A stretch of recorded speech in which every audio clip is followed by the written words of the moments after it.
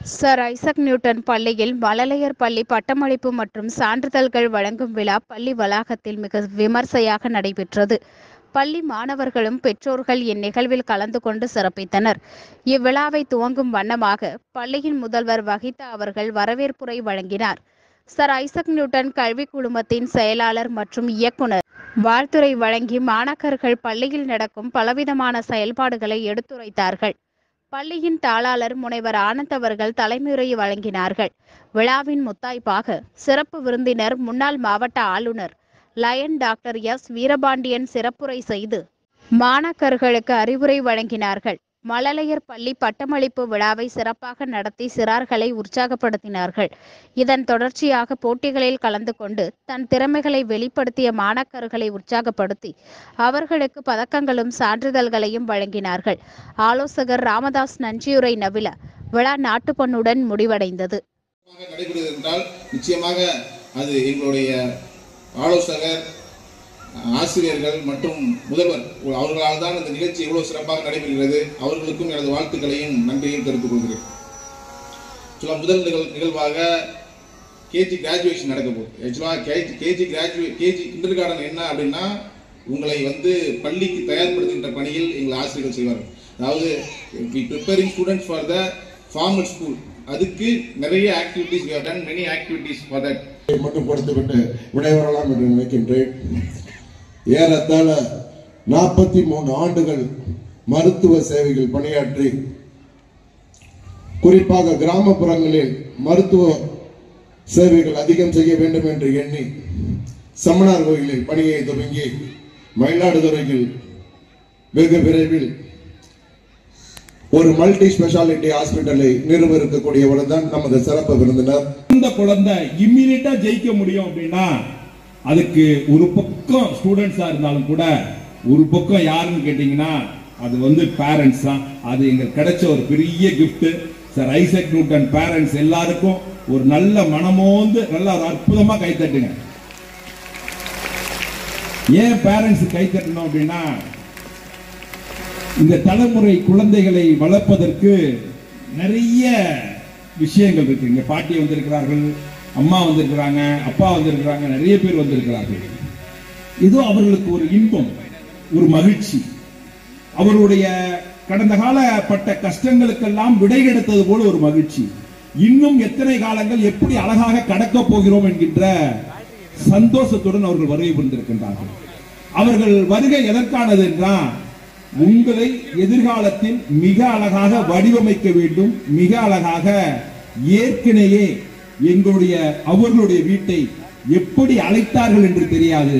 ஆனால் ஏற்கனவே அவர்களை ஆசிரியர் வீடு என்று அழைத்திருக்கலாம் அல்லது பள்ளி மேலாளர் வீடு என்று அழைத்திருக்கலாம் மேலாளர் வீடு என்று அழைத்திருக்கலாம். ஆனால் அந்த வீட்டை அந்த தலைமுறையை மாற்றி பொறியாளர் வீடு அல்லது மருத்துவர் வீடு என்று அழைக்க வேண்டும் என்கின்ற கனவில் மிக அற்புதமாக ஒவ்வொரு நாளும் உறங்குகிற போதும் அவர்கள் எழுந்து பயணம் செய்கின்ற போதும் எப்படியாவது நாம் குழந்தை இன்னொரு ஒக்காபுலரி உச்சரிச்சிட மாட்டினார்களா என்று ஏங்கி கிடக்கிற அற்புதமான பெற்றோர்கள்.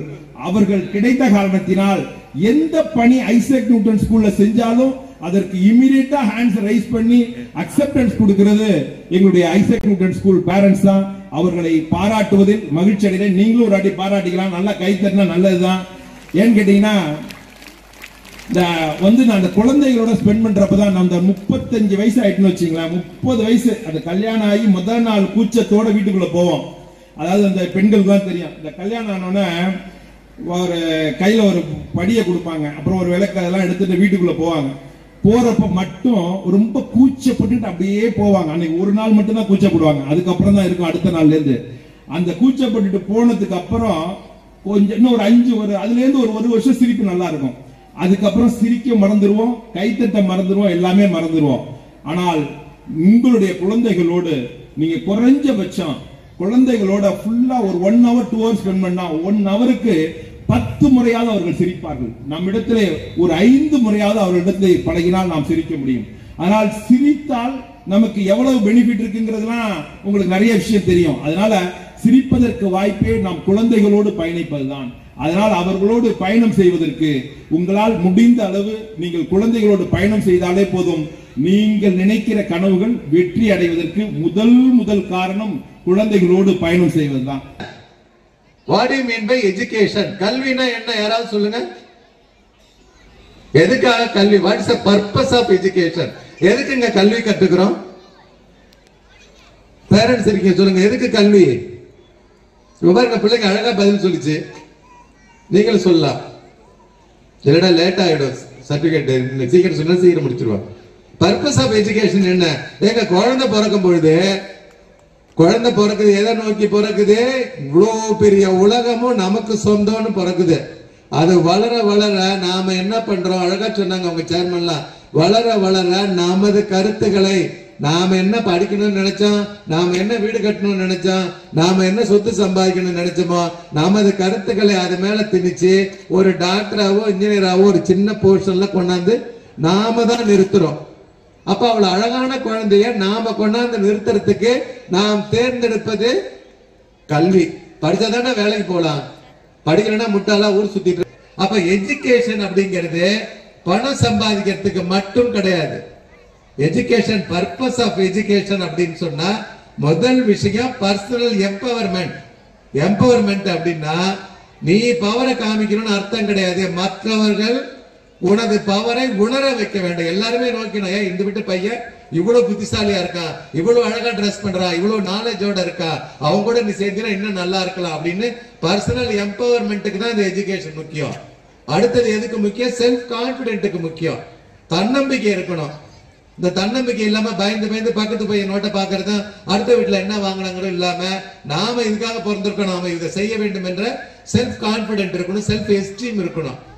அதுக்கடுத்து ப்ராப்ளம் சால்விங் நீங்க பார்த்திருப்பீங்க நம்ம ஊர்ல ஒரு புயலோ வெள்ளமோ வந்து வீடு இடிஞ்சிச்சுன்னா அதை கட்டுறதுக்கு ஒரு வருஷம் ஆறு மாசம் ஆகும். வேற வளர்ந்த நாடுகள் அமெரிக்கா அங்க பாத்தீங்கன்னா அடுத்த ஒரு நாள்ல கட்டி முடிச்சுட்டு வந்துருவான் அப்ப ப்ராப்ளம் சால்விங்கு நம்ம வந்து டிசாஸ்டர் எப்படி நம்ம மேக்கப் பண்றது அவசர சிகிச்சை இதெல்லாம் யாரும் தெரியறதே கிடையாது. அவசரத்தை பத்தி யோசிக்கல காரணம் அந்த காலத்துல நான் எங்க வீட்டுல எல்லாம் சொல்லுவாங்க காவேரியில தண்ணி வருது கால் ஆட்டிட்டு சாப்பிடலாம். அவ்வளவுதான் வேற உழைக்கணும்னு தேவையில்லை அப்படிம்பாங்க. அதனாலதான் எல்லாருமே டெல்டா மாவட்டத்துல குடியிருந்தாங்க.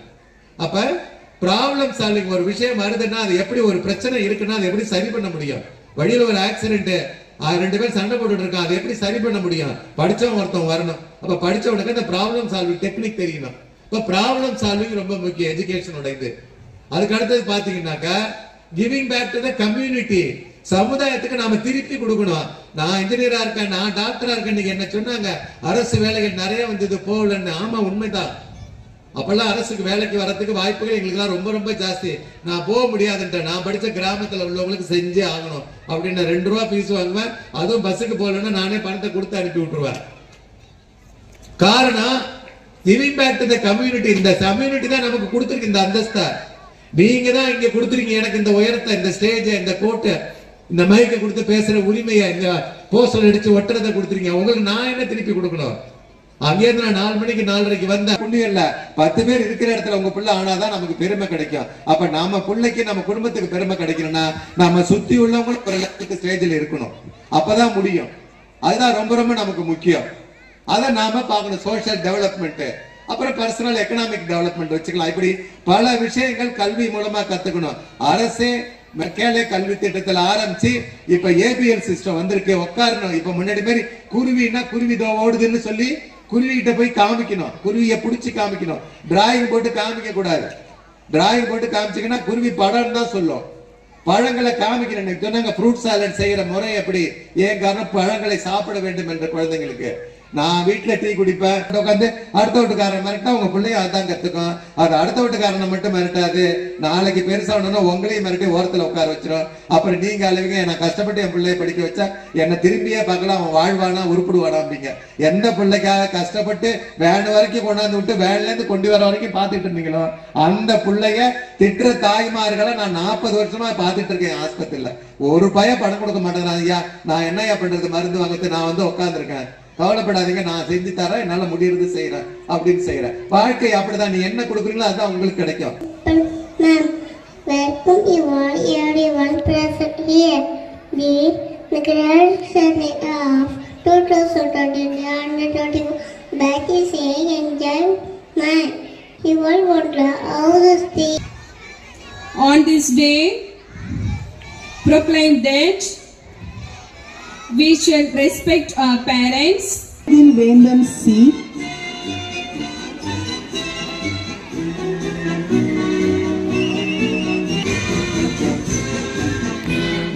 Kubendran here, Muhammad Afrit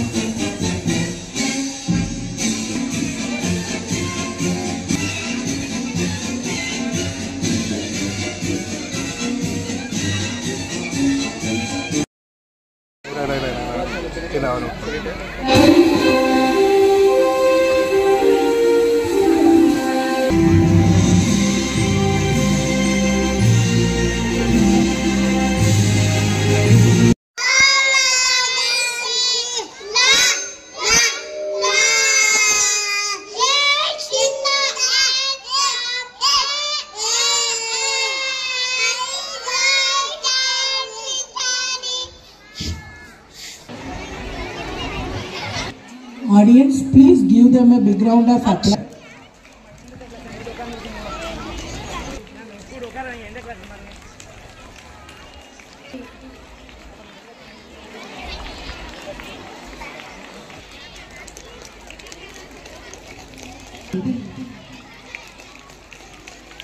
again.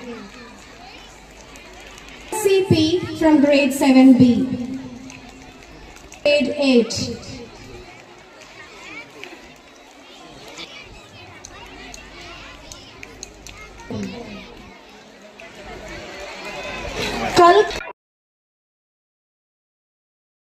Pre-KG. Bramesh won first prize in vegetable printing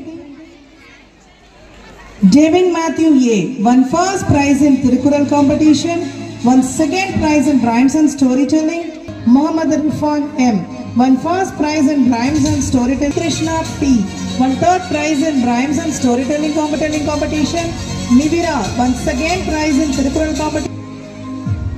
competition, won first prize in rhymes competition.